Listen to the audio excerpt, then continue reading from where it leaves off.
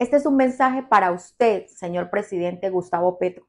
Hoy, tres muertos más en el departamento de Arauca. Y es que la profunda crisis de violencia, reclutamiento de niños, de asesinato de líderes sociales y de confinamiento de miles de familias le piden a usted un carácter reflexivo y decisiones encaminadas a proteger la vida de los araucanos. Lo que pasó en el Cauca le duele al país, nos duele a todos, pero eso es lo que hemos vivido los araucanos durante décadas. Se lo expresaron las comunidades en su visita, pero no hubo la más mínima intención de enviar un mensaje o de condicionar en esas mesas de diálogo el que ya los violentos no sigan asesinando a nuestra gente.